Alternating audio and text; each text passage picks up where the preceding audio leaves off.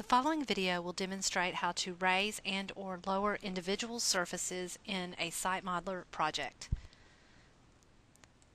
As you can see here, I have an existing surface that is displayed as, my, as the base of my active site.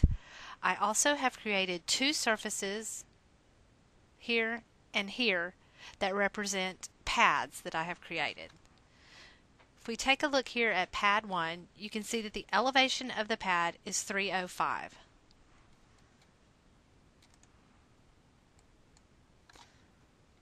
Likewise with pad 2, the elevation is also 305.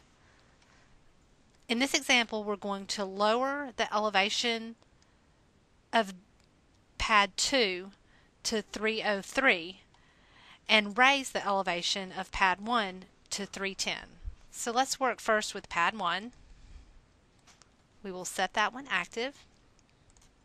Then we'll go to the command Site Modeler, Surface, Raise Lower. You can see that pad 1 is active and we're going to raise that 5 feet. Click Apply and you can see that the contours update. Next we're going to work with pad 2 and we're going to lower the elevation of pad 2 to 303 so we'll type in negative 2 and click apply.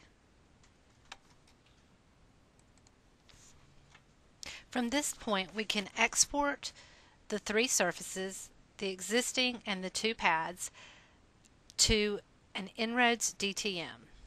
Because they're all contained within the same site, we can use the command SiteModeler Site Tools, Create Surface.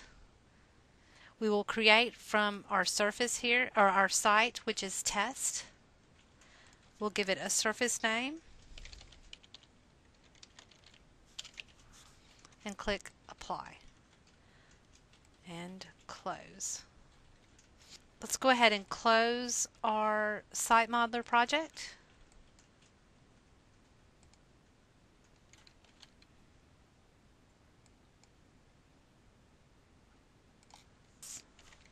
Delete these two elements that are remaining.